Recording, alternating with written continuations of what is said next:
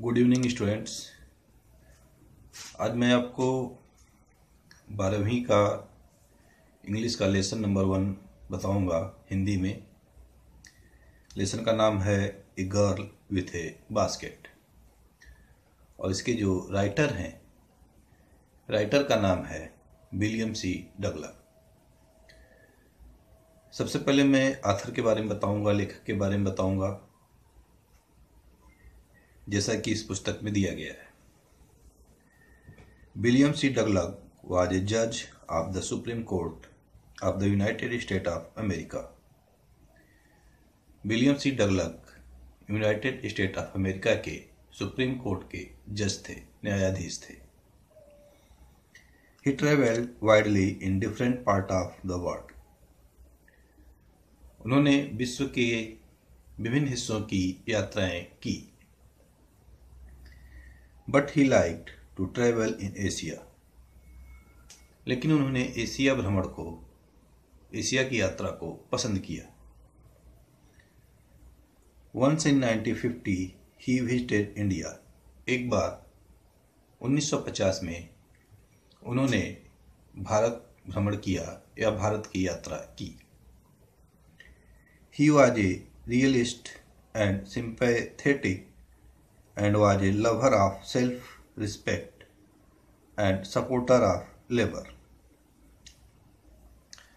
He was a realist वह वह एक यथार्थवादी थे सिंपेथेटिक सहानुभूति पूर्ण रवैया था उनका and was a lover of self respect और आत्मसम्मान को चाहने वाले या आत्मसम्मान को पसंद करने वाले व्यक्ति थे।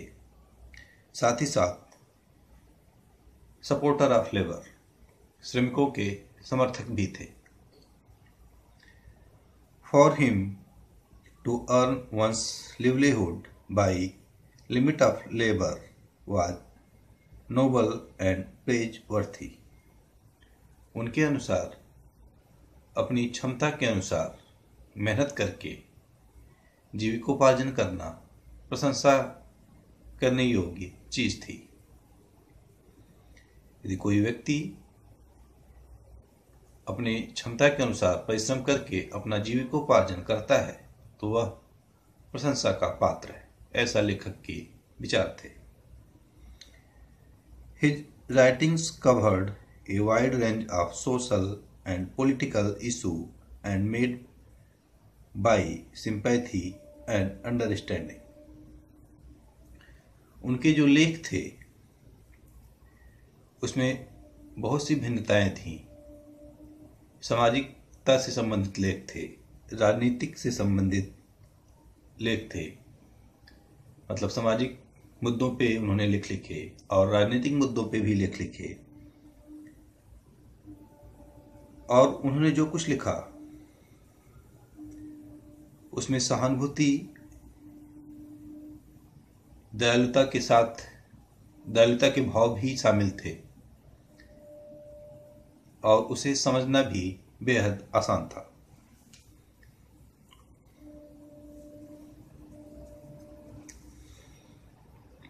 In his writing he shows a special liking for India अपने लेखों में उन्होंने भारत के प्रति एक विशेष स्नेह एक विशेष प्रकार की पसंद या एक विशेष प्रकार की चाहत को दिखाया। He had very soft corner of the refugee girl who refuse to expect anything as charity उन्होंने अपने लेख में एक छोटी और खूबसूरत शरणार्थी लड़की के प्रति अपने मन में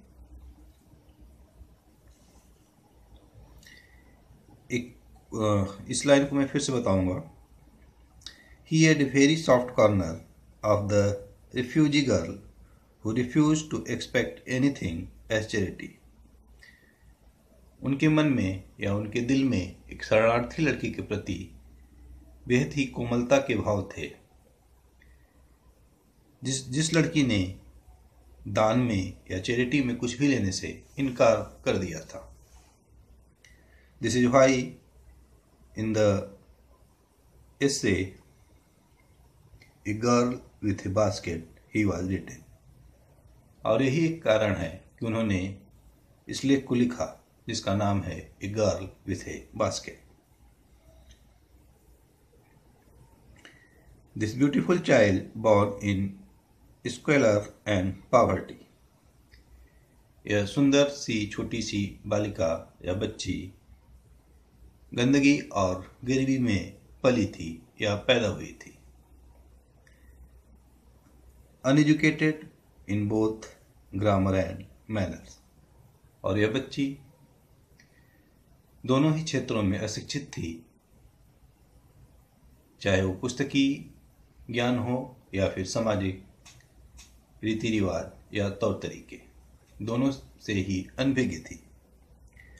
Had given me a glimpse of warm soul of India उस छोटी बच्ची ने लेखक को भारत के विशाल सहृदयता का एक छोटा सा झलक दिखाया था। अब हम लेसन पे आते हैं।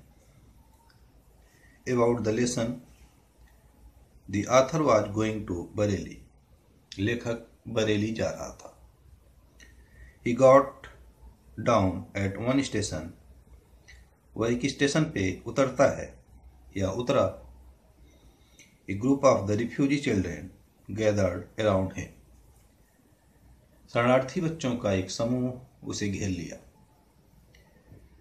They wanted to sell their fans and basket वे बच्चे लेखक को अपने पंखे और अपनी टोकरियाँ बेचना चाहते थे। The author bought some fans and basket लेखक ने कुछ पंखे और टोकरियों को खरीदा।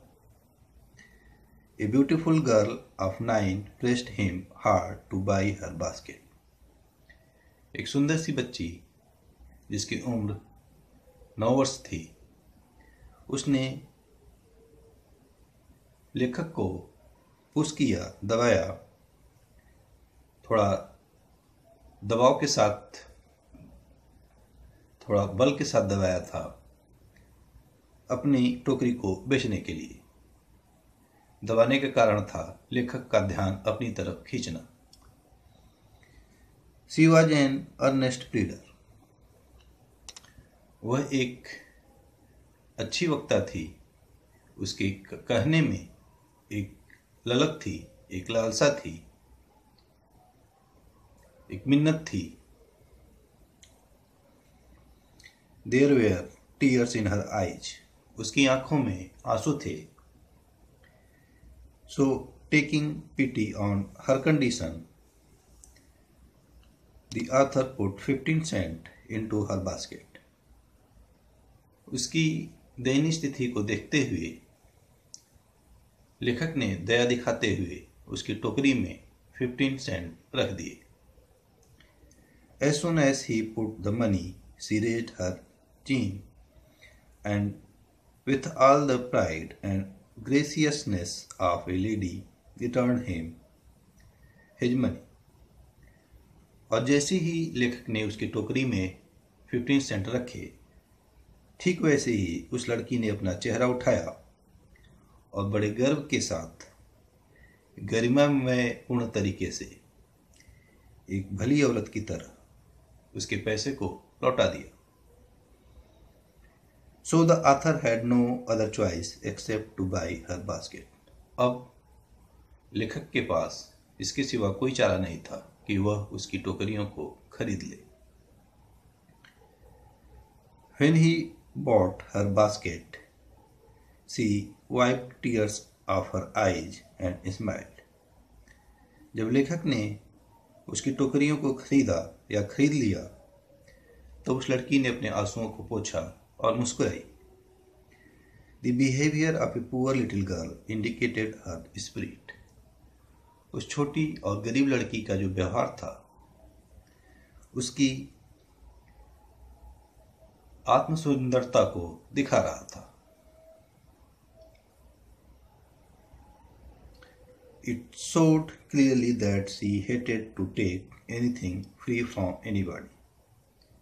उसके व्यवहार, उसका व्यवहार यह अच्छी तरह से दिखा रहा था कि किसी से कोई चीज़